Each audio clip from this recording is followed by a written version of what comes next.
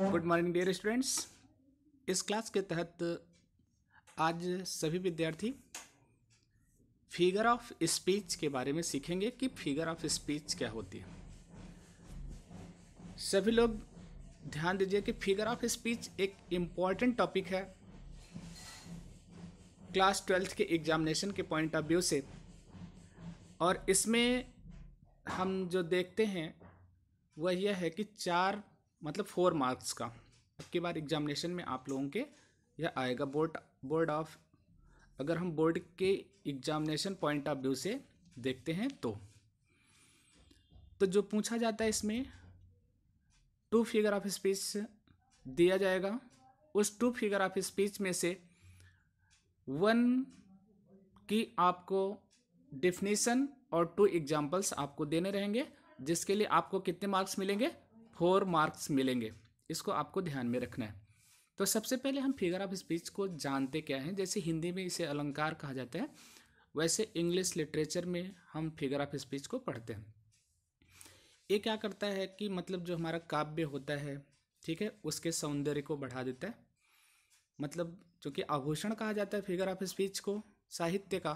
तो उसी प्रकार इंग्लिश में भी ये आपका क्या हो गया? साहित्य का आभूषण हो गया। जैसे देखिए डिफिनीशन लिखा गया।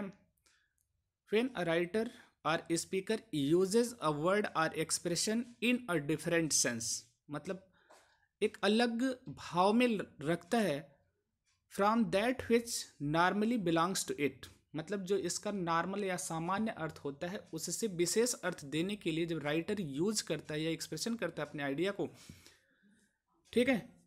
Its uses is called figure of speech इसका प्रयोग क्या कहलाता है? फिगर ऑफ़ स्पीच कहलाता है। बाई इट्स यूजेज इसके प्रयोग से a language become more effective and beautiful एक जो भाषा होती है, अधिक प्रभावशाली और सुंदर बन जाती है। क्लियर हो गया? अब इट्स काइंड मतलब इसके प्रकार पर हम जाते हैं तो जो इंटरमीडिएट के सिलेबस में है, वो सात प्रकार की फिगर ऑफ़ स्पीच आप पढ़ते हैं। जिसमें आपका सिमली है मेटाफर है हाइपरबोल है पर्सनिफिकेशन है एपास्टॉफी है ऑक्सीमोरन है और उसके अलावा आनोमोटोपोइया मतलब सात फिगर ऑफ़ स्पीच आपको पढ़ने हैं। सातों आपके सिलेबस में हैं। तो आपको इसको क्या करना है? अच्छी तरीके से पढ़ना है। जैसे फ़र्स्ट आपका फिगर ऑफ़ स्पीच आता है सिमली सिमली क्या है? इसको आप लोग समझ लीजिएगा। जैसे कहा गया a simile is comparison of two things of different kinds which have one or more points of resembles resembles मतलब समान होता है। इसमें दो या दो से अधिक, कह सकते हैं मतलब दो वस्तुओं के बीच में क्या की जाती है? तुलना की जाती है। वो भी कैसे होती है? डिफरेंट काइंड से, जिसमें कम से कम एक या एक से अधिक पॉइंट एक समान होते हैं। मतलब सिमिलर होते हैं या समानता को शो करता है। वही फिगर ऑफ़ स्पीच आपकी क्या कहलाती है? सिमली कहलाती है। The comparison is made by using such words like so as or मतलब लाइक सो एज मतलब तीन वर्ड हैं जो कंपेरिजन के इसमें ऑफन क्या किए जाते हैं? यूज़ किए जाते हैं। तो सिमली फिगर ऑफ़ स्पीच आपका इंपॉर्टेंट है ऑफन पूछा भी जाता है इजी भी है। तो आप लोग इसके दो एग्ज़ाम्पल मैंने इसीलिए एग्ज़ाम्पल में दो दो एग्ज़ाम्पल लिखा है, उसके डिफिनीसन सिंपल वे में लिखा है। तो आप लोग लर्न कर लीजिएगा। Simile a simile is comparison of two things of different kind kinds which have one or more points resembles resembles की मीनिंग भी बता दिया मतलब समान होता है। The comparison is made by using such words as like or so example जैसे लिखा गया her lips trembles like a leaf मतलब उसके ओंठ ऐसे कांपते हैं जैसे क्या? लिफ मतलब पत्ती। I wander lonely as cloud ठीक है? यहाँ पर ये वर्ड्स वर्थ की पोइम की लाइन है। मतलब मैं अकेले वैसे भ्रमण करती हूँ, जैसे क्या? बादल। अगला लिखा गया, देखिए, दूसरा फिगर ऑफ़ स्पीच आपका क्या है? मेटाफर मेटाफर क्या है? इसे हम एम्प्लॉयड सिमली कहते हैं। मतलब इसमें जो कंपेरिजन की चीज़ें होती हैं, वो क्या होती हैं?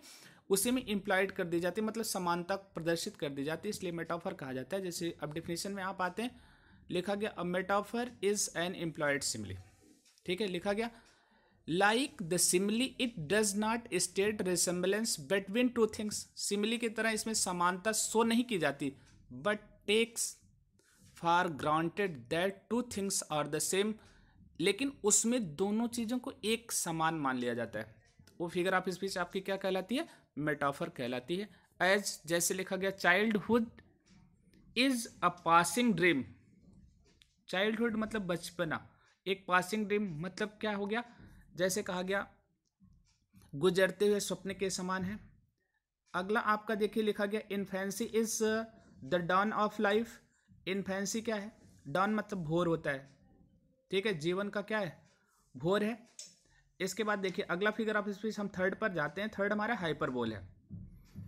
हाइपरबोल में क्या होता है? अतिशयोक्ति कहा जाता है, अलंकार इसे। Hyperbole is an exaggeration or over statement for the sake of making a deeper impression मतलब किसी चीज़ को जैसे हम बढ़ा चढ़ा करके बोलते हैं, वो आपका कौन सा फिगर ऑफ़ स्पीच कहलाता है? हाइपरबोल कहलाता है। डिफिनेशन लर्न कर लीजिएगा।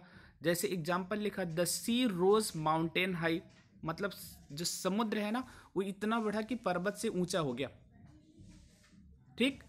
दूसरा क्या लिखा गया? She wept ocean of tears मतलब वो इतना रोई मतलब ओशियन ऑफ़ टीयर्स समुद्र भर आँसू। समझ में आया? तो वहाँ पर आपका कौन सा फिगर ऑफ़ स्पीच हुआ? हाइपरबोल क्लियर अगला इसी रूप में हम जाते हैं जो हमारा फिगर ऑफ़ स्पीच है। Personification fourth figure of speech पे। पर्सनिफिकेशन मतलब किसी चीज़ को हम पर्सनिफाई करते हैं। जैसे कहा गया in this figure of speech inanimate objects or abstract ideas are spoken as if they were living person मतलब हम निर्जीव चीज़ों को या अबसेंट चीज़ को अब्स्ट्रैक्ट मतलब होता है अमूर्त चीज़ों को, ऐसे संबोधित करते हैं जैसे वो क्या है? ज़िंदा। ठीक है? इसे हम पर्सनली मतलब मानवीकरण कर देते हैं किसी चीज़ का। जैसे लिखा गया Everest is the king of mountains Everest क्या है? चोटी का नाम है। वो पर्वतों का क्या है? राजा। अब राजा मतलब क्या हो गया? पर्सनिफाई कर दिया गया, उसे मानवीकरण कर दिया गया। अगला लिखा गया, anxiety is sitting on his face anxiety मतलब चिंता। मतलब सीधे उसके चेहरे पर मतलब जैसे अस्पष्ट दिखाई दे रही उसके चेहरे पर बैठी है। अब एनॉक्सटी को पर्सनिफाई कर दिया गया। ये फिगर ऑफ़ स्पीच आपकी एनॉक्सटी हो गई।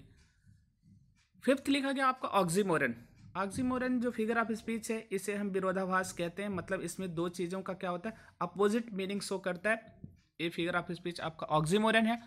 तो जैसे लिखा गया the figure of speech is the combination of two words of opposite meaning in a word in a one expression.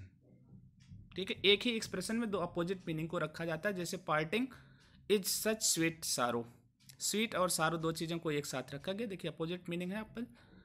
जैसे कहा गया he loved a life of laborious idleness ठीक है लेबोरियस आइडलनेस देखिए, दोनों अलग चीज़ें हैं। लेबोरियस मतलब परिश्रमी इंडस्ट्रियस होता है आइडलनेस मतलब क्या होता है? लेजीनेस होता है। दोनों को एक चीज़ के रूप में रखा गया। मतलब he loved a life of laborious idleness clear हो गया? अब सिक्स पे हम जाते हैं, जिसे हम ऑनोमोटोपोइया कहते हैं। इस फिगर ऑफ़ स्पीच को हम कहते हैं onomatopoeia consist in the use of words which suggest the sense of their sounds मतलब जो साउंड के आधार पर किसी अर्थ मीनिंग को सजेस्ट करता है शो करता है, वो आपका क्या हो गया? इसे हम ध्वनि सूचक अलंकार भी कहते हैं। Many words have this quality जैसे सच हो गया crash bang hiss mew rattle whisper ये क्या है आपके? साउंड है। इनके आधार पर हम अर्थ को समझते हैं। जैसे लिखा गया the rattle of the hail upon the roof hail मतलब स्टार्म तूफ़ान रेटल का मतलब उसका जो दहाड़ना होता है, किसके ऊपर? छत के ऊपर आवाज़ शो करता है। The murmur horns of flies of summer use ठीक है? यूस मतलब होती है बेला जिससे हम कह सकते हैं मरमर्स हॉर्न्स मरमर का मतलब क्या होता है? आवाज़। किसका? फ्लाइज मतलब मक्खियों का। ठीक है? अगला लिखा गया एपोस्टॉफी एपोस्टॉफ लिखा गया last figure of speech seventh है, जो आपकी परीक्षा में इंपॉर्टेंट है, लिखा गया apostrophe is an address to a particular person और ऑब्जेक्ट ऑफन डेड और अपसेंट मतलब जो चीज़, कोई चीज़ डेड होता है या अपसेंट होता है। उस चीज़ को क्या किया जाता है? एड्रेस किया जाता है, संबोधित किया जाता है किसमें? एपोस्टॉफी फिगर ऑफ़ स्पीच में। तो इसे आपका ये सेवन फिगर ऑफ़ स्पीच है। इसमें हम किसी चीज़ को क्या करते हैं? संबोधित करते हैं। जैसे कहा गया O death where is thy sting ठीक? अगला लिखा गया स्वीट टेम्स स्वीट मतलब मधुर होता है। Thames is the name of river run swiftly till I end my song मतलब आराम से स्विफ्टली मतलब बहना होता है, चलना होता है, जब तक मेरे सॉन्ग क्या ना हो, समाप्त ना हो। तो सभी विद्यार्थी सबसे इम्पोर्टेंट थिंग क्या है कि आपको एक फिगर ऑफ़ स्पीच परीक्षा में पूछा जाएगा, उसकी डिफिनीशन अच्छे से, दो एग्जाम्पल्स लिखने रहेंगे फोर मार्क्स आपके लिए महत्वपूर्ण है। लेकिन इसमें सबसे इंपॉर्टेंट है कि सभी फिगर ऑफ़ स्पीच की स्पेलिंग आपको करेक्ट लर्न रहनी चाहिए, क्योंकि वहाँ पर पर्सनिफिकेशन लिखते हैं ऑक्सीमोरन लिखते हैं, ठीक है एपोस्टॉफी लिखते हैं ऑनोमोटोपोइया लिखते हैं, या इसी प्रकार हाइपरबोल लिखते हैं, ठीक है मेटाफर लिखते हैं सिमली लिखते हैं ठीक है? तो इन सब की स्पेलिंग लर्न होनी चाहिए। इसके साथ इनकी डिफिनेशन तथा दो एग्ज़ाम्पल आपको एग्ज़ाम में लिखना है। तो आपको आसानी से फोर मार्क्स मिल सकते हैं। तो सभी विद्यार्थी वीडियो को देखेंगे, उसके अर्थ को समझेंगे तथा अपनी कॉपी में नोट डाउन कर लेंगे। Okay thank you for this class